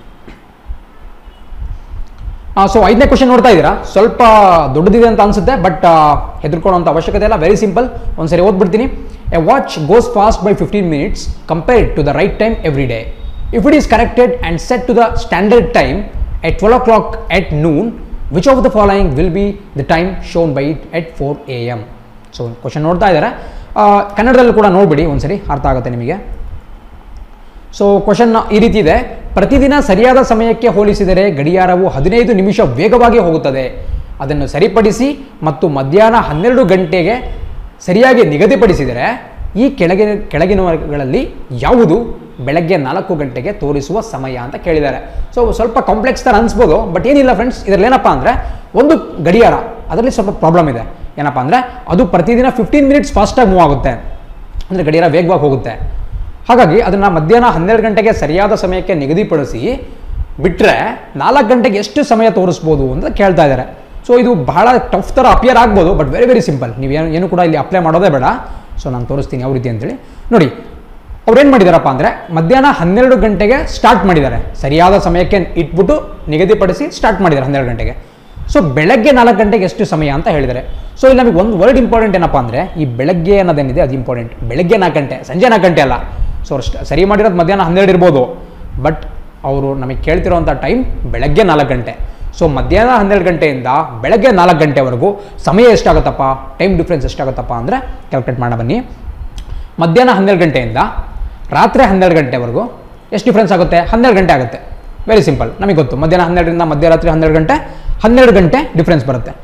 ಬಟ್ ಅಲ್ಲಿ ಹನ್ನೆರಡು ಗಂಟೆಯಿಂದ ಬೆಳಗ್ಗೆ, ಅಂದರೆ ಬೆಳಗಿನ ಜಾವ ನಾಲ್ಕು ಗಂಟೆಗೆ ಎಷ್ಟಾಗುತ್ತಪ್ಪ ಡಿಫ್ರೆನ್ಸ್ ಅಂದರೆ ನಾಲ್ಕು ಗಂಟೆ ಆಗುತ್ತಲ್ವಾ? ಹನ್ನೆರಡರಿಂದ ಒಂದು, ಒಂದರಿಂದ ಎರಡು, ಎರಡರಿಂದ ಮೂರು, ಮೂರರಿಂದ ನಾಲ್ಕು.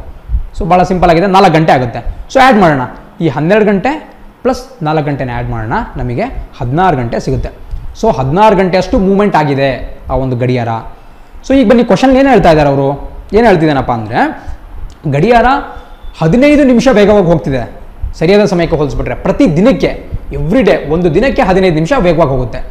ಸೊ ಹಾಗಾಗಿ ಹದಿನಾರು ಗಂಟೆಗೆ ಎಷ್ಟು ಹೋಗುತ್ತೆ ಅಂತ ನಮಗೆ ಬೇಕಾಗಿದೆ ಈಗ. ನೋಡಿ ಒಂದು ದಿನದಲ್ಲಿ ಎಷ್ಟು ಗಂಟೆ ಇರುತ್ತಪ್ಪ? ಒಂದು ದಿನದಲ್ಲಿ ಇಪ್ಪತ್ನಾಲ್ಕು ಗಂಟೆ ಇರುತ್ತೆ. ಅಂದರೆ ಈ ಗಡಿಯಾರ ಇಪ್ಪತ್ತು, ಪ್ರತಿ ಇಪ್ಪತ್ನಾಲ್ಕು ಗಂಟೆಗೆ ಹದಿನಾರು ನಿಮಿಷ ಸಾರಿ ಹದಿನೈದು ನಿಮಿಷ ಕರೆಕ್ಟ್ ಮಾಡ್ಕೊತೀನಿ, ಹದಿನೈದು ನಿಮಿಷ ವೇಗವಾಗಿ ಹೋಗ್ತಾ ಇದೆ. ಸೊ ಹಾಗಿದ್ದಾಗ ಹದಿನಾರು ಗಂಟೆಗೆ ಅದು ಎಷ್ಟು ನಿಮಿಷ ವೇಗವಾಗಿ ಹೋಗ್ಬೋದು ಅಂತ ಈ ರೀತಿ ಬರುತ್ತೆ. ಸೊ ಐ ಥಿಂಕ್ ನಿಮಗೆ ಈ ಒಂದು ಟೆಕ್ನಿಕ್ ಗೊತ್ತಿದೆ ಅನ್ಕೊತೀನಿ. ನೋಡಿ ಸಿಕ್ಸ್ಟೀನ್ ಈ ಕಡೆ ಪ್ಲಸ್ ಈ ಕಡೆ. ಸೊ ಇದು ಯಾವ ರೀತಿ ಬರುತ್ತೆ? ನಾನು ಮತ್ತೊಂದು ಸರಿ ಹೇಳ್ಬಿಡ್ತೀನಿ ನಿಮಗೆ ಎಕ್ಸ್ಪ್ಲೇನ್ ಮಾಡ್ತೀನಿ. ಬಟ್ ಈಗ ಜಸ್ಟ್ ಬರ್ಕೊಳ್ಳೋಣ. ಹದಿನಾರು ಇಂಟು ಹದಿನೈದು ಡಿವೈಡೆಡ್ ಬೈ ಇಪ್ಪತ್ನಾಲ್ಕು. ಒಂದು ಸರಿ, ಮತ್ತೊಂದು ಸರಿ ಇದು ಯಾವ ರೀತಿ ನಾನು ಕ್ಯಾಲ್ಕುಲೇಟ್ ಮಾಡ್ಕೊತೀನಿ ಅಂತ ಹೇಳ್ತೀನಿ. ಬಟ್ ಅದಕ್ಕೆ ಮುಂಚೆ ಸಾಲ್ವ್ ಮಾಡ್ಬಿಡೋಣ. ಆನ್ಸರ್ ಗೊತ್ತಾಗ್ಬಿಡಿ ನಾಲ್ಕು ನಾಲ್ಕಲೆ ಹದಿನಾರು, ನಾಲ್ಕಾರಲೆ ಇಪ್ಪತ್ನಾಲ್ಕು ಆ್ಯಂಡ್ ಎರಡು, ಎರಡಲೆ, ಎರಡು ಮೂರಲೆ. ಯಾರಿಗಾದ್ರೂ ಡಿವಿಷನಲ್ಲಿ ಪ್ರಾಬ್ಲಮ್ ಆಗ್ತಾ ಇದೆ ಅಂದರೆ ಪ್ಲೀಸ್ ವೀಡಿಯೋನ ಪಾಸ್ ಮಾಡಿ ಪೆನ್ ಆ್ಯಂಡ್ ಪೇಪರ್ ತೊಗೊಂಡು ನೀವೇ ಸಾಲ್ವ್ ಮಾಡೋಕೆ ಟ್ರೈ ಮಾಡಿ. ಯಾಕಂದರೆ ಡಿವಿಷನ್ ಕೂಡ ನಾವು ನಿಧಾನ ಮಾಡ್ತಾ ಹೋದರೆ ಟೋಟಲ್ ಓವರಾಲ್ ವಿಡಿಯೋ ಡಿಲೇ ಆಗುತ್ತೆ. ಯಾರಿಗೆಲ್ಲ ಡಿವಿಷನ್ ಈಸಿಯಾಗಿ ಗೊತ್ತಿದೆ, ಅವರಿಗೆ ಕೂಡ ಟೈಮನ್ನು ನಾವು ವೇಸ್ಟ್ ಮಾಡ್ತಾ ಇದ್ವಿ ಅನಿಸ್ಬಾರ್ದು. ಸೊ ಸ್ವಲ್ಪ ಇದ್ರ ಬಗ್ಗೆ ನೀವು ಕನ್ಸಿಡರ್ಡ್ ಆಗಿರಬೇಕಾಗುತ್ತೆ. ಆ್ಯಂಡ್ ಕೆಳಗಡೆ ತ್ರೀ ಇದೆ, ಮೂರು ಒಂದಲೇ, ಮೂರು ಐದಲೇ, ಹದಿನೈದು. ಸೊ ಐದು ಎರಡಲೇ ಎಷ್ಟು ಬರುತ್ತಪ್ಪ ಅಂದರೆ ಹತ್ತು ಬರುತ್ತೆ. ಸೊ ಹತ್ತು ನಿಮಿಷದಷ್ಟು ಡಿಲೇ ಆಗಿದೆ ಅಂತ ಕಾಣಿಸ್ಕೊಳ್ತಾ ಇದೆ. ಸೊ ಇದು ಫೈನಲ್ ಆನ್ಸರ್ ಅಲ್ಲ, ನಿಮಗೆ ಹೇಳ್ತೀನಿ ನಾನು. ಸೊ ಈಗ ನಾನು ಈ ಕಾನ್ಸೆಪ್ಟ್ ಎಕ್ಸ್ಪ್ಲೇನ್ ಮಾಡಿಬಿಡ್ತೀನಿ. ಯಾವ ಯಾಕೆ ಈ ರೀತಿ ನಾನು ತೊಗೊಂಡೆ ಅಂತೇಳಿ. ನೋಡಿ, ನಾನು ಆಗಲೇ ನನಗೆ ಇಪ್ಪತ್ನಾಲ್ಕು ಗಂಟೆಗೆ ಅದು ಹದಿನೈದು ನಿಮಿಷ ಏನು ಡಿಲೇ ಆಗ್ತಾ ಇತ್ತು. ಅಂದರೆ ಸಾರಿ ಫಾಸ್ಟ್ ಹೋಗ್ತಾ ಇತ್ತು. ಹದಿನೈದು ನಿಮಿಷ ಜಾಸ್ತಿ ಬರ್ತಾ ಇತ್ತು. ಸೊ ಹದಿನಾರಕ್ಕೆ ಎಷ್ಟು ಬರುತ್ತೆ ಅಂತ ಸಿಂಪಲಾಗಿ ನಾವು ಕ್ಯಾಲ್ಕುಲೇಟ್ ಮಾಡ್ಕೋಬೋದು. ಸೊ ನಾವು ಜಸ್ಟ್ ಡಿವೈಡ್ ಡಿವೈಡ್ ಮಾಡಿದ್ರು ಕೂಡ ನಮಗೆ ಗೊತ್ತಾಗುತ್ತೆ. ನೋಡಿ, ಹದಿನೈದು ಬೈ ಇಪ್ಪತ್ನಾಲ್ಕು ಇಂಟು ಹದಿನಾರು. ಸೊ ಹದಿನೈದು ಬೈ ಇಪ್ಪತ್ನಾಲ್ಕು ಅಂದ್ರೆ ಏನು? ಒಂದು ಗಂಟೆಗೆ ಎಷ್ಟು ನಿಮಿಷ ಡಿಲೇ ಆಗ್ತಾ ಇದೆ ಅಂತ ಬರುತ್ತೆ. ಸೊ ಅದು ಫಸ್ಟ್ ನಾವು ತಿಳ್ಕೊಬೇಕು. ಒಂದು ಗಂಟೆಗೆ ಎಷ್ಟು ನಿಮಿಷ ಫಾಸ್ಟಾಗಿ ಹೋಗ್ತಿದೆಯಪ್ಪ? ಅಂದರೆ ಹದಿನೈದು ಬೈ ಇಪ್ಪತ್ನಾಲ್ಕು ಅಷ್ಟು ಫಾಸ್ಟಾಗಿ ಹೋಗ್ತಾ ಇದೆ. ಸೊ ಯಾರಿಗಾದರೂ ಸ್ವಲ್ಪ ಫಾಸ್ಟ್ ಅನಿಸ್ತು ಅಂದರೆ ನೀವು ಕಮೆಂಟ್ ಸೆಕ್ಷನ್ ಕೂಡ ಯೂಸ್ ಮಾಡ್ಕೋಬೋದು. ನೀವು ಸ್ವಲ್ಪ ಡೌಟ್ಸ್ ಇದ್ದರೆ ಕೇಳ್ಕೊ, ಕೇಳ್ಬೋದು ಕೂಡ. ಬಟ್ ನಾನು ಇದೊಂದು ಮಾಡ್ರೇಟ್ ಸ್ಪೀಡಲ್ಲಿ ಮೂವ್ ಆಗಕ್ಕೆ ಇಷ್ಟಪಡ್ತೀನಿ. ಸೊ ಹದಿನೈದು ಬೈ ಇಪ್ಪತ್ನಾಲ್ಕು ಏನು ನೋಡ್ತೀರಾ? ಇದು ಒಂದು ಗಂಟೆಗೆ ಎಷ್ಟು ವೇಗವನ್ನು ಹೆಚ್ಚು ಪಡೆದುಕೊಳ್ತು ಗಡಿಯಾರ ಅಂತೇಳಿ. ಸೊ ನಾವು ನೋಡ್ತಾ ಇದ್ದೀವಿ, ಹದಿನಾರು ಗಂಟೆ ಮೂವ್ ಆಗಿಬಿಟ್ಟಿದೆ ಗಡಿಯಾರ. ಹನ್ ಮಧ್ಯಾಹ್ನ ಹನ್ನೆರಡರಿಂದ ಮರ್, ಮರುದಿನ ನಾಲ್ಕು ಗಂಟೆ ಅಷ್ಟರಲ್ಲಿ ಹದಿನಾರು ಗಂಟೆ ಮೂವ್ ಆಗಿದೆ. ಸೊ ನಾವೇನು ಮಾಡ್ತೀವಿ? ಒಂದು ಗಂಟೆಗೆ ಎಷ್ಟು ಹೆಚ್ಚಾಯಿತು? ಅದನ್ನು ಹದಿನಾರರಿಂದ ಮಲ್ಟಿಪ್ಲೈ ಮಾಡ್ತೀವಿ. ಮಾಡಿದಾಗ ನಮಗೆ ಆನ್ಸರ್ ಸಿಗುತ್ತೆ. ಸೊ ನೋಡಿ, ಇಲ್ಲಿ ನಿಮಗೆ ಕೆಳಗಡೆ ಆಲ್ರೆಡಿ ಬಂದುಬಿಟ್ಟಿದೆ. ನಾನು ಸಿಂಪ್ಲಿಫೈ ಮಾಡಿದ್ದೀನಿ. ಹತ್ತು ನಿಮಿಷ ಅಂತ ಬರ್ತಾ ಇದೆ. ಸೊ ಅರ್ಥ ಏನು? ಹದಿನಾರು ಗಂಟೆಗಳಲ್ಲಿ ಆ ಒಂದು ಗಡಿಯಾರ ಹತ್ತು ನಿಮಿಷ ಟೈಮನ್ನು ಹೆಚ್ಚು ಪಡ್ಕೊಂಡಿದೆ ಅಂತ. ಬಟ್ ಕ್ವಶನ್ ಏನಿತ್ತು? ನೋಡಿ ಬೆಳಗ್ಗೆ ನಾಲ್ಕು ಗಂಟೆಗೆ ತೋರಿಸಿದ ಸಮಯ ಕೇಳ್ತಾ ಇದ್ದಾರೆ. ಅಂದರೆ ಬೆಳಗ್ಗೆ ನಾಲ್ಕು ಗಂಟೆಗೆ ಅದು ಎಷ್ಟು ತೋರಿಸುತ್ತೆ? ನಾಲ್ಕು ಗಂಟೆ ತೋರಿಸ್ಬೇಕಿತ್ತು. ಬಟ್ ಅದು ಸ್ವಲ್ಪ ಪ್ರಾಬ್ಲಮ್ ಆಗಿ ಭಾಳ ಫಾಸ್ಟಾಗಿ ಮೂವ್ ಆಗ್ತಾ ಇರೋದ್ರಿಂದ ಗಡಿಯಾರ ಎಷ್ಟು ತೋರಿಸುತ್ತಪ್ಪ ಅಂದರೆ ಹತ್ತು ನಿಮಿಷ ಜಾಸ್ತಿ ತೋರಿಸುತ್ತೆ. ನಮಗೇನು ಆನ್ಸರ್ ಬಂತು? ಅದು ಹತ್ತು ನಿಮಿಷ. ಅಂದರೆ ಹತ್ತು ನಿಮಿಷ ಜಾಸ್ತಿ ತೋರಿಸ್ಬೇಕು. ದರ್ ಇಸ್ ನಥಿಂಗ್ ಬಟ್ ನಾಲ್ಕು ಗಂಟೆ ಹತ್ತು ನಿಮಿಷ ತೋರಿಸ್ಬೇಕಾಗುತ್ತೆ. ಫೋರ್ ಟೆನ್ ಸೊ ಆನ್ಸರ್ ಇದೆಯಾ? ಸೊ ನೋಡಿ ಹಂಡ್ರೆಡ್ ಪರ್ಸೆಂಟ್ ನಿಮಗೆ ಬೇರೆ ಬೇರೆ ಆನ್ಸರ್ಸ್ ಕೊಟ್ಟಿದ್ದಾರೆ. But question number B option number B ಏನಿದೆ? ಫೋರ್ ಟೆನ್ ಎ ಎಂ ಅನ್ನೋದು ಪರ್ಫೆಕ್ಟ್ ಆನ್ಸರ್ ಆಗಿರುತ್ತೆ. ಸೊ ಭಾಳ ಸಿಂಪಲ್ ಕಾಂಪ್ಲೆಕ್ಸ್ ಥರ ಕಾಣ್ಬೋದು. ಬಟ್ ಇಲ್ಲಿ ಏನೂ ಕೂಡ ನೀವು ಹೆದರ್ಕೊಳ್ಳೋಂಥ ಅವಶ್ಯಕತೆ ಇಲ್ಲ. ವೆರಿ ವೆರಿ ಸಿಂಪಲ್ ಆಗಿದೆ. ಸೊ ಹೋಪ್ಫುಲ್ಲಿ ನಿಮಗೆ ಅರ್ಥ ಆಗಿದೆ ಅಂತ ಅನ್ಕೊತೀನಿ. ಸೊ ಮುಂದಿನ ಪ್ರಾಬ್ಲಮ್ಗೆ ಹೋಗೋಣ. ಸೊ ಆನ್ಸರ್ ಬಂದ್ಬಿಟ್ಟು ನಾಲ್ಕು ಗಂಟೆ ಹತ್ತು ನಿಮಿಷ ಅಂತ ಆಗುತ್ತೆ. ಸೊ ಮುಂದಿನ ಪ್ರಾಬ್ಲಮ್ಗೆ ಹೋಗೋದಾದರೆ, ಇವತ್ತಿನ ಒಂದು ಕೊನೆಯ ಪ್ರಾಬ್ಲಮ್ ಒಂದು ಮಿರರ್ ಇಮೇಜನ್ನು ಕೂಡ ಇನ್ಕ್ಲೂಡ್ ಮಾಡ್ಕೊಂಡಿದ್ದೀನಿ. ಕೆಲವೊಂದು ಎಕ್ಸಾಮ್ಸಲ್ಲಿ ಲೈಕ್ ಎಸ್ ಎಸ್ ಸಿ ಇರ್ಬೋದು ಸೆಂಟ್ರಲ್ ಗೌರ್ಮೆಂಟ್ ಎಕ್ಸಾಮ್ಸ್ ಇರ್ಬೋದು, ಅಲ್ಲಿ ಕೂಡ ಮಿರರ್ ಇಮೇಜಸ್ ಬಗ್ಗೆ ಸಾಕಷ್ಟು ಪ್ರಶ್ನೆ ಬರ್ತಾ ಇರುತ್ತೆ. ನಮ್ಮ ಕರ್ನಾಟಕ ಗೌರ್ಮೆಂಟ್ ಎಕ್ಸಾಮ್ಸಲ್ಲಿ ಕೂಡ ಬರ್ತಾ ಇರುವ ಚಾನ್ಸಸ್ ಇರುತ್ತೆ. ಸೊ ಮಿರರ್ ಇಮೇಜನ್ನು ಇನ್ಕ್ಲೂಡ್ ಮಾಡ್ಕೊಂಡಿದ್ದೀನಿ. ಸೊ ಕ್ವಶನ್ ಹೇಳುತ್ತೆ the mirror image when the exact time shown in a clock was eight forty so eight forty A P M ಏನೂ ಹೇಳ್ತಾ ಇಲ್ಲ. ನಮಗೆ ಅದು ಬೇಡ ಬೇಡ ಬೇಡ. ಯಾಕಂದರೆ ಅವ್ರು ಜಸ್ಟ್ ಮಿರರ್ ಇಮೇಜ್ ಕೇಳ್ತಾ ಇರೋದು. ಬೇರೆ ಏನಾದರೂ ಕೇಳಿದರೆ ನಮಗೆ A M R P M ಬಗ್ಗೆ ಬೇಕಾಗ್ತಿತ್ತು. ಬಟ್ ಈ ಒಂದು ಪರ್ಟಿಕ್ಯುಲರ್ ಇಶ್ಯೂ ಅಲ್ಲಿ ನಮಗೆ ಅದೇನು ಬೇಡ. ಸೊ ನಾವು ಕನ್ನಡದಲ್ಲಿ ಒಂದ್ಸರಿ ಕ್ವಶನ್ ನೋಡೋಣ ಸೊ ಕನ್ನಡದಲ್ಲಿ ಗಡಿಯಾರದಲ್ಲಿ ತೋರಿಸಿದ ನಿಖರ ಸಮಯ ಎಂಟು ನಲವತ್ತು ಆಗಿದ್ದಾಗ ಕನ್ನಡಿ ಚಿತ್ರವನ್ನು ಹುಡುಕಿ. ಅಂದರೆ ಕನ್ನಡಿಯಲ್ಲಿ ಮಿರರಲ್ಲಿ ಯಾವ ರೀತಿ ಬರುತ್ತೆ ಅಂತ. ನೋಡಿ ಈಗ ಒಂದು ಸಿಂಪಲ್ ಆಗಿ ಫಾರ್ಮುಲಾ ಕೂಡ ಇದೆ. ಬಹಳ ಕಡೆಗಳಲ್ಲಿ ನೀವು ಕೇಳಿರ್ಬೋದು. ಈ ಹನ್ನೊಂದು ಗಂಟೆ ಅರವತ್ತು ನಿಮಿಷ ಅಂತ ತಗೊಳ್ಳಿ. ಇದರಿಂದ ನಿಮಗೆ ಏನೇ ಟೈಮ್ ಕೊಡಲಿ ಅದನ್ನು ಮೈನಸ್ ಮಾಡಿಬಿಡಿ ಆನ್ಸರ್ ಬರುತ್ತೆ ಅಂತ ಹೇಳಿರೋದು ಕೇಳಿರ್ತೀರಾ? ಸೊ ಒಂದ್ಸರಿ ಈ ಮೆಥಡಲ್ಲಿ ಮಾಡೋಣ. This is very simple time come ಕಮ್ಮಿ ಟೈಮಲ್ಲಿ ಆನ್ಸರ್ ಕೊಡ್ಬೋದು. ಬಟ್ ಇದಕ್ಕೆ ನಾನು ಒಂದು ಜಸ್ಟಿಫಿಕೇಷನನ್ನು ಕೂಡ ಈ ಒಂದು ಪ್ರಾಬ್ಲಮ್ ಆದಮೇಲೆ ಕೊನೆಯಲ್ಲಿ ಕೊಡ್ತೀನಿ. ಸೊ ಸಾಲ್ವ್ ಮಾಡೋಣ ನೋಡಿ.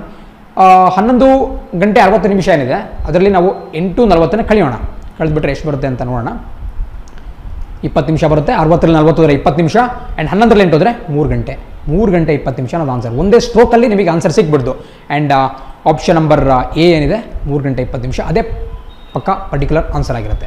ಸೊ ಇಷ್ಟೇ ಸಿಂಪಲಾಗಿ ಮಾಡೋದು. ಬಟ್ ಜೊತೆಗೆ ಸ್ವಲ್ಪ ನಿಮಗೆ ಕಾನ್ಸೆಪ್ಷಲಿ ಕೂಡ ಹೇಳ್ಬಿಡ್ತೀನಿ.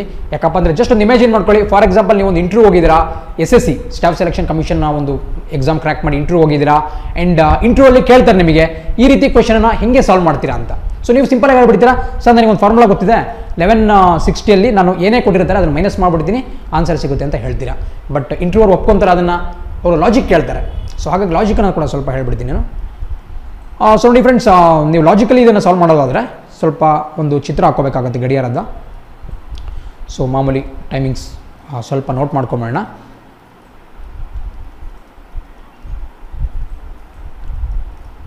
ಸೊ ಇಷ್ಟು ನೋಟ್ ಮಾಡ್ಕೊಂಡ್ರೆ ಸಾಕು ಅಂದ್ಕೊತೀನಿ ಸೊ ಈಗ ನಾವು ಅವ್ರು ಕೊಟ್ಟಿರುವಂತಹ ಸಮಯನ ಬರ್ಕೊಳ್ಳೋಣ. ಸೊ ಅವ್ರೇನು ಕೊಟ್ಟಿದ್ದಾರೆ? ಏಯ್ಟ್ ಫಾರ್ಟಿ ಅಂತ ಕೊಟ್ಟಿದ್ದಾರೆ.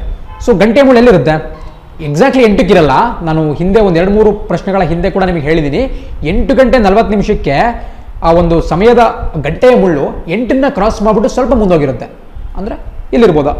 ಅಂದಾಜು ಒಂದು ಇಲ್ಲಿರ್ಬೋದಾ? ಇದು ಗಂಟೆ ಮುಳ್ಳು. ಆ್ಯಂಡ್ ನಿಮಿಷದ ಮುಳ್ಳು ಎಲ್ಲಿರುತ್ತೆ? ಆಬ್ವಿಯಸ್ಲಿ ಎಂಟು ನಲ್ವತ್ತಂದರೆ ಎಂಟರ ಥರನೇ ಇರುತ್ತೆ. ಇಲ್ಲಿವರೆಗೂ ಬಂದಿರುತ್ತೆ. ಸೊ ಇದು. ಸೊ ಅವರು ಮಿರರ್ ಇಮೇಜನ್ ಕೇಳ್ತಾ ಇದ್ದಾರೆ ನೋಡಿ ನೀವು ಮಿರರ್ ನೋಡಿದ್ದೀರಾ ಅನ್ಕೊಂತೀನಿ. ಮಿರರ್ ಏನಿರುತ್ತೆ? ಜಸ್ಟ್ ರೈಟ್ ಇರೋದು ಲೆಫ್ಟ್ ಆಗುತ್ತೆ ಲೆಫ್ಟ್ ಇರೋದು ರೈಟ್ ಆಗುತ್ತೆ. ಜಸ್ಟ್ ಒಂದು ಇನ್ವರ್ಟೆಡ್ ನಿಮಗೆ ಒಂದು ಇಮೇಜ್ ಸಿಗುತ್ತೆ ಅಷ್ಟೇ. ಇನ್ವರ್ಟೆಡ್ ಅಲ್ಲ ಜಸ್ಟ್ ಒಂದು ರೈಟ್ ಸೈಡ್ ಇರ್ತಕ್ಕಂಥದ್ದು ಲೆಫ್ಟಿಗೆ ಹೋಗಿರುತ್ತೆ ಲೆಫ್ಟಲ್ಲಿ ಇರೋದು ರೈಟಿಗೆ ಬಂದಿರುತ್ತೆ. ಸೊ ಅದು ಯಾವ ರೀತಿ ಇರುತ್ತೆ ಅಂತ ಬರ್ಕೊಳ್ಳೋಣ. ಸೊ ಇದನ್ನು ಕ್ಯಾನ್ಸಲ್ ಮಾಡಿ ಹೋಗೋದಾದ್ರೆ, ನೋಡಿ, ಯಾವ ರೀತಿ ಬರ್ಬೋದಪ್ಪ ಅದು? ಇಲ್ಲೇನಿತ್ತು, ಒಂದು ನಮಗೆ ಗಂಟೆ ಮುಳ್ಳು, ಅದು ಇಲ್ಲಿ ಬರುತ್ತೆ. ಹೌದಾ? ಸಾರಿ ಒಂದು ಸೆಕೆಂಡ್ ಇಲ್ಲೇನಿರುತ್ತೆ? ಎರಡು ಇದಕ್ಕೆ ಮುಂದಿರುತ್ತೆ. ಸೊ ಇಲ್ಲಿ ಕೂಡ ಎರಡನ್ನು ಬಿಟ್ಬಿಟ್ಟು ಇಲ್ಲಿರುತ್ತೆ. ಅಂದಾಜು ಇಲ್ಲಿರ್ಬೋದು, ಗಂಟೆ ಮುಳ್ಳು. ಆ್ಯಂಡ್ ನಿಮಿಷದ ಮುಳ್ಳು ಎಲ್ಲಿರುತ್ತಪ್ಪ ಅಂದರೆ, ಇಲ್ಲಿತ್ತು ಮುಂಚೆ ಬಟ್ ಅದು ಕ್ಯಾನ್ಸಲ್ ಆಗಿಬಿಟ್ಟು, ಈಗ ಮಿರರ್ ಇಮೇಜ್ ನಾವು ನೋಡ್ತಾ ಇರೋದ್ರಿಂದ, ಅಲ್ಲಿಯೇ ಬದಲಾಗೋದು, ಬಂದು ಈ ಐದರ ಹತ್ರ ಇರುತ್ತೆ. ಸಾರಿ ನಾಲ್ಕರ ಹತ್ರ ಇರುತ್ತೆ, ಅಲ್ವಾ? ಇಲ್ಲಿ ಕೂಡ ಎರಡು ಬಾಕ್ಸ್ ಬಿಟ್ಟು ಮುಂದಿತ್ತು ಸೊ ಇಲ್ಲಿ ಕೂಡ ಎರಡು ಬಾಕ್ಸ್ ಬಿಟ್ಟು ಹಿಂದಿರುತ್ತೆ. ನಾಲ್ಕರ ಹತ್ರ ಇರುತ್ತೆ ನಮ್ಮ ನಿಮಿಷದ ಮುಳ್ಳು. ಇದು ಗಂಟೆ ಮುಳ್ಳು. ಸೊ ಈಗ ಟೈಮ್ ಟೈಮ್ ಎಷ್ಟಾಗಿದೆ? ನೀವು ಸಿಂಪಲಾಗಿ ನೋಡ್ಬೋದು. ಮೂರು ಗಂಟೆ ಇಪ್ಪತ್ತು ನಿಮಿಷ ಆಗಿದೆ. ಯಾಕಂದರೆ ಮೂರನ್ನ ದಾಟಿ ಸ್ವಲ್ಪ ಮುಂದೆ ನಮ್ಮ ಗಂಟೆಯ ಮುಳ್ಳಿದೆ. ಆ್ಯಂಡ್ ಎಕ್ಸಾಕ್ಟ್ಲಿ ನಾಲ್ಕರ ಹತ್ತಿರ ನಮ್ಮ ನಿಮಿಷದ ಮುಳ್ಳಿದೆ. ದಟ್ ಮೀನ್ಸ್ ಮೂರು ಗಂಟೆ ಇಪ್ಪತ್ತು ನಿಮಿಷ ಆಗಿದೆ. ಸೊ ಆನ್ಸರ್ ಈಸ್ ಅಗೇನ್ ಮೂರು ಗಂಟೆ ಇಪ್ಪತ್ತು ನಿಮಿಷ. ಅದೇ ಪಕ್ಕ ಆನ್ಸರ್ ಬಟ್ ನಿಮಗೆ ಜಸ್ಟ್ ಸ್ವಲ್ಪ ಕಾನ್ಸೆಪ್ಚುಯಲ್ ಕ್ಲಾರಿಟಿ ಕೊಟ್ಟಿದೆ ಅಷ್ಟೇ. ಸೊ ನೀವು ಎಕ್ಸಾಮಲ್ಲಿ ಟೈಮ್ ಕನ್ಸ್ಟೆಂಟ್ ಇದೆ ಅರ್ಜೆಂಟಾಗಿ ಆನ್ಸರ್ ಬೇಕಾಗಿದೆ ಅಂದಾಗ ಹಂಡ್ರೆಡ್ ಪರ್ಸೆಂಟ್ ಲೆವೆನ್ ಸಿಕ್ಸ್ಟಿನ ಯೂಸ್ ಮಾಡ್ಕೊಂಬಿಟ್ಟು ಏನೇ ಒಂದು ಕೊಟ್ಟಿರ್ತಾರೆ ಅದನ್ನು ಮೈನಸ್ ಮಾಡಿಬಿಟ್ಟು ಮಾಡಿದಾಗ ನಿಮಗೆ ಪಕ್ಕ ಆನ್ಸರ್ ಬರುತ್ತೆ. ಬಟ್ ಕಾನ್ಸೆಪ್ಟ್ ಕೂಡ ಅರ್ಥ ಮಾಡ್ಕೊಂಡಿರಿ. ನಿಮಗೆ ಲೈಫಲ್ಲಿ ಒಂದಲ್ಲ ಒಂದು ದಿನ ಹೆಲ್ಪ್ ಆಗೇ ಆಗುತ್ತೆ. ಏನಕ್ಕೆ ಮೂರು ಮೂರು ಇಪ್ಪತ್ತು ಬಂತು ಅಂದರೆ ಜಸ್ಟ್ ನಾನು ಫಾರ್ಮುಲಾ ಗಟ್ಟೋದ್ಬಿಟ್ಟು ಮಾಡ್ತಿದ್ದೀನಿ ಅನ್ನೋಕ್ಕಿಂತನೂ, ಈ ಒಂದು ಫಿಗರ್ನ ಹಾಕಿ ಅನಲೈಸ್ ಮಾಡಿಬಿಟ್ಟು ಕೂಡ ಹೇಳುವಂಥ ಕೆಪಾಸಿಟಿ ಇರಲಿ. ಸೊ ಇದು ಸ್ವಲ್ಪ ಗೊತ್ತಿದ್ರೆ ನೀವು ಭಾಳ ಈಸಿಯಾಗಿ ಕ್ವಶನ್ಸನ್ನು ಸಾಲ್ವ್ ಮಾಡ್ಬೋದು. ಆ್ಯಂಡ್ ಇದ್ರ ಜೊತೆಗೆ ಇವತ್ತಿನ ನಮ್ಮ ಒಂದು ಲೈವ್ ವಿಡಿಯೋ ಮುಕ್ತಾಯ ಆಗುತ್ತೆ. ಸೊ ನಿಮ್ಮ ಡೌಟ್ಸನ್ನೆಲ್ಲ ಕೂಡ ನಾವು ನೋಡ್ತಾ, ವೀಕ್ಷಣೆ ಮಾಡ್ತಾ ಇದ್ದೀವಿ. ಆ, ಒಂದು ಲೈವ್ ಕಮೆಂಟ್ ಸೆಕ್ಷನಲ್ಲಿ ನಮ್ಮ ನಮ್ಮ ಒಂದು ಟೀಮ್ ಅದಕ್ಕೆ ಆನ್ಸರ್ ಕೂಡ ಮಾಡ್ತಾ ಇದೆ. ಸೊ ಮುಂದಿನ ದಿನದಲ್ಲಿ ಇನ್ನಷ್ಟು ವೀಡಿಯೋಸನ್ನು ನಾವು ನಿಮಗೆ ಹೊರತರಕ್ಕೆ ಪ್ಲ್ಯಾನ್ ಮಾಡ್ತಾ ಇದ್ದೀವಿ ಸೊ ಫಾರ್ ದಟ್ ನೀವು ಏನು ಮಾಡಬೇಕಪ್ಪ ಅಂದರೆ ನಿಮ್ಮ ಕೆಳಗಡೆ ರೆಡ್ ಕಲರ್ಲಿ ಸಬ್ಸ್ಕ್ರೈಬ್ ಬಟನ್ ಏನಿದೆ ಅದನ್ನು ಕ್ಲಿಕ್ ಮಾಡಿ, ಜೊತೆಗೆ ಬೆಲ್ ಐಕಾನನ್ನು ಕೂಡ ಕ್ಲಿಕ್ ಮಾಡಿ ಸೊ ದಟ್ ನಮ್ಮ ಪ್ರತಿಯೊಂದು ಲೈವ್ ವೀಡಿಯೋಸ್ನ ಒಂದು ನೋಟಿಫಿಕೇಷನ್ ನಿಮಗೆ ಫಸ್ಟ್ ಬರುತ್ತೆ. ಆ್ಯಂಡ್ ಈ ವಿಡಿಯೋಗೆ ಲೈಕ್ ಮಾಡಿ, ನಿಮ್ಮ ಅನಿಸಿಕೆ ಅಭಿಪ್ರಾಯಗಳನ್ನ ಕಮೆಂಟ್ ಮಾಡಿ, ಜೊತೆಗೆ ನಿಮ್ಮ ಫ್ರೆಂಡ್ಸಿಗೆ ಕೂಡ ನಮ್ಮ ಚಾನಲ್ ಬಗ್ಗೆ ಹೇಳೋದನ್ನು ಮರಿಬೇಡಿ. ಇದರೊಂದಿಗೆ ಇವತ್ತಿನ ವಿಡಿಯೋ ಮುಗಿಸ್ತೀನಿ. ಥ್ಯಾಂಕ್ಸ್ ಅಲಾಟ್ ಜೈ ಹಿಂದ್